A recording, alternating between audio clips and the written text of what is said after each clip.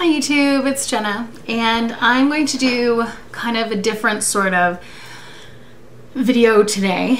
Um, as you can tell from the title, you can kind of guess what it's about a little bit. Um,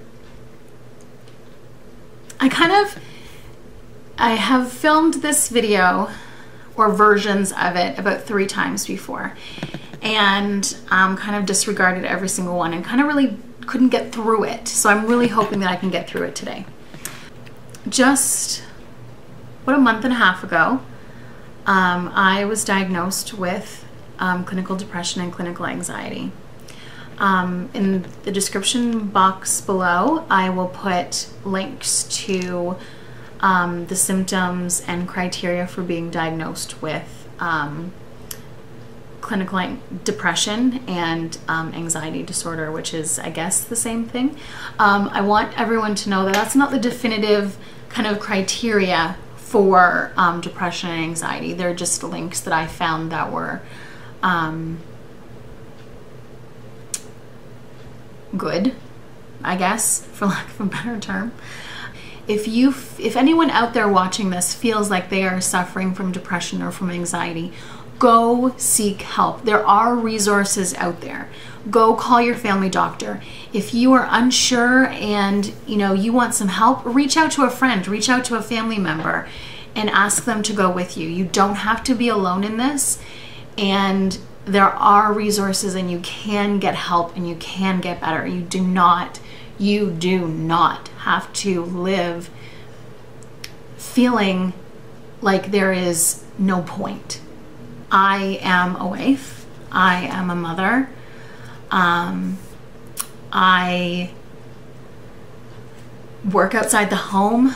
Um, I kind of have the life, the Canadian dream as it was. I mean, we have a little house. It's not glamorous, it's not fancy, but it's ours. We own it. Um, my husband and I suffered through infertility, and we were really, really lucky and we conceived a beautiful, amazing, oh, she's just, she's amazing. We have this amazing little three-year-old girl who is everything to us. And every day I thank God that he blessed me and I am a mother.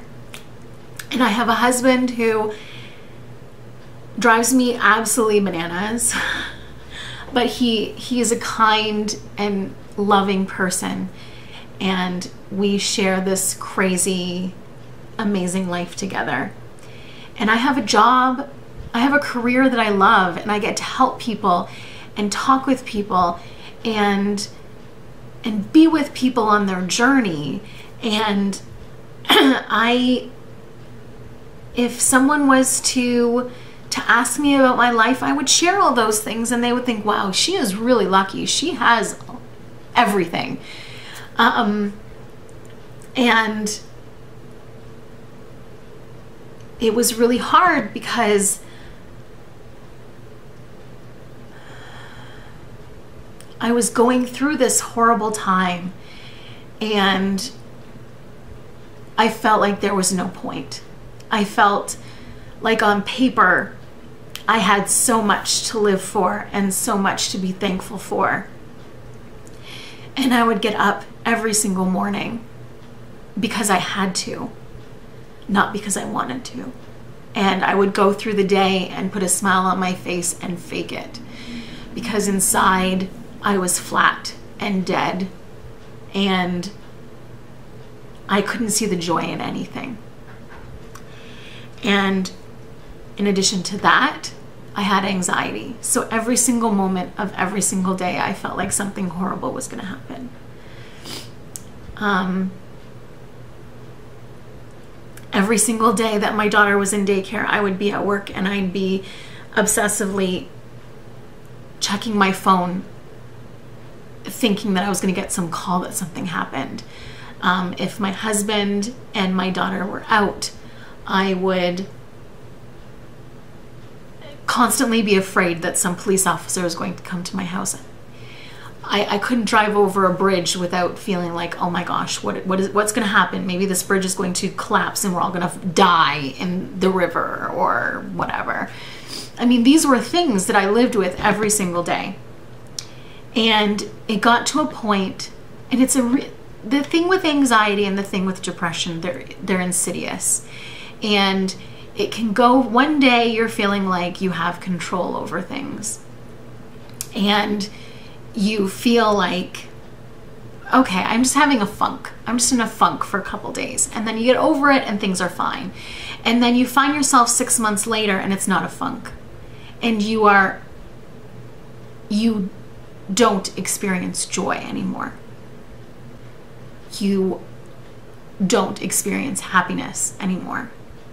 And you are living with this horrible anxiety every single day that affects every aspect of your day.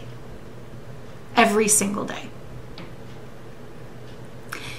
and it got to a point one night that I sat with my sister. I have two younger sisters.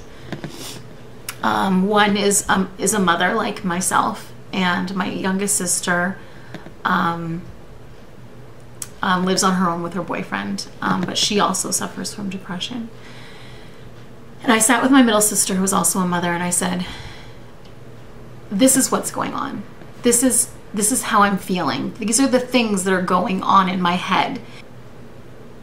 I think I need to go to the doctor and I need to get help. What do you think?" And I sat down and I explained everything that was going through my head. And she said, "You need to go to the doctor. This is not normal. This you need to get help." And at the same time that was that happened, um, a few days later, a friend of mine, I'm on this um, kind of parenting forum, and all of us have children um, that are that were born the same month. And one of my friends who I met on that board on that forum, but we become friends in real life and met, and our children have played together um, she confided that she's been experiencing anxiety and she'd gone to the doctor and the doctor had given her medication. So um, I immediately talked to her privately and explained some of the things that I was experiencing. But she said, I, I think that you need to call your doctor and I think you need to get help. Um, so those, those things happened. It was hard because I'm the one that um, holds it together. I'm the one that um, is the strong one in our relationship, is the rational one in our relationship. And I felt for a long time like I didn't have time to deal with this. I didn't have time to be depressed. I didn't have time to feel anxiety about things. I I had to take care of my daughter. I had my I have my own business. I have my family to take care of. I don't have time to deal with being depressed. And there were a lot of emotions for me about feeling like that. And I finally got to a point one day they my doctor's office had called me. I was I was trying to work up the courage to make that phone call because it is one of the hardest phone calls I have ever made. Asking for help was the hardest thing I've had to do.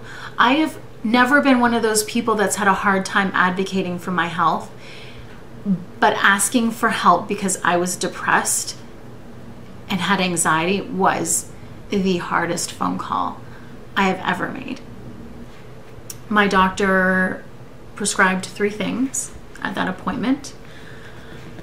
Um, one was an antidepressant um, that works for depression and anxiety. Um, we decided that I would start a therapeutic trial. Um, basically, that means that once you start the medication, they like to keep you on the medication if it's working for you and you're not getting any excessive side effects.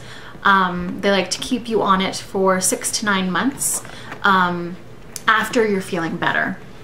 um, just so you get the full effect, and then they properly wean you off of the medication. Um, if they decide to do that at that point. Um, as well as talk therapy and daily exercise therapy. Um, so those are three things that they said were very important. And my doctor is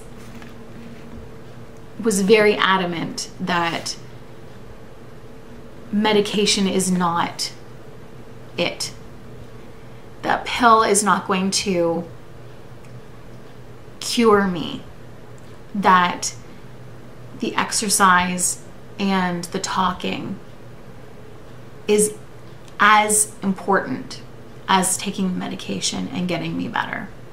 And I'm also, um, in addition to those three things, I'm being monitored very closely every month by my family doctor as well to monitor my pro progress, how I'm doing, um, those sorts of things. So I have been put on medication and I have been on medication for about a month and a half now. So um, I'm almost at the point they say it takes about six to eight weeks um, to feel the full effects of the um, medication. I definitely feel better. I don't feel as raw. Um, do I still have those crazy anxiety filled thoughts? Yes. Do I still feel, do I still have crazy kind of nightmares sometimes? Yes. Um, most days when I have those thoughts, the best way to describe it is they're not as urgent. They're not as acute when I experience them. I still do experience them. Um, I think that will be something that will take longer to resolve than the depression. I'm feeling I'm feeling a difference. Do I still feel a lot of the kind of symptoms associated with depression, the fatigue, um, all those other wonderful things.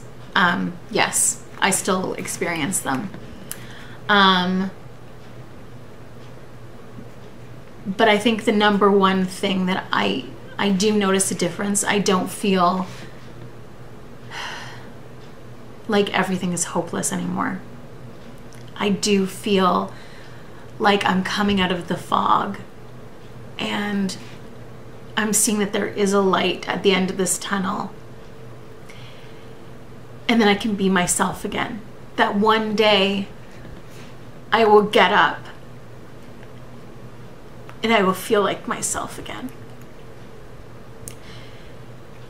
And I want anyone who's watching this who has experienced this or is experiencing it, you don't have to feel like this forever. You don't. There are so many resources out there, and I feel like as I mean, I'm a wife and I'm a mother, so I speak as a wife and a mother. I feel like we put everyone else first and we put everyone else's health before our own. And as mothers, we can't take care of our children if we can't take care of ourselves. So, um,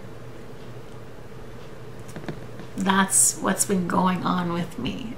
I don't know if anyone is interested in kind of progresses on how this is going.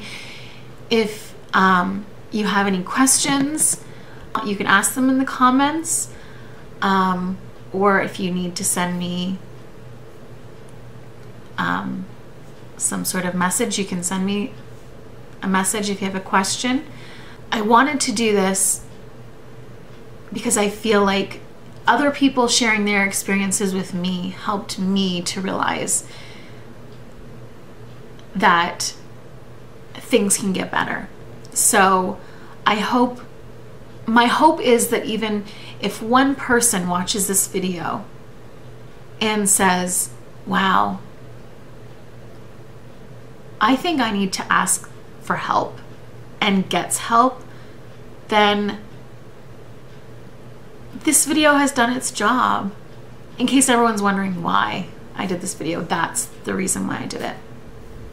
And I hope that as I can kind of refocus my brain, um, then I can be on here more. And I'll talk to you soon. Bye.